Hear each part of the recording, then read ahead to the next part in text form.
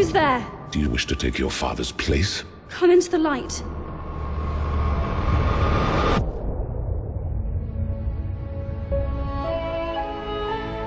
Show me the girl.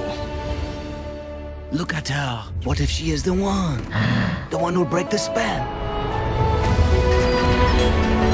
Hello. You can talk. Well, of course he can talk. Hello, pleased to meet you. The Master's not as terrible as he appears. I say we kill the beast! Think of the one thing you've always wanted. And find it in your mind's eye and feel it in your heart.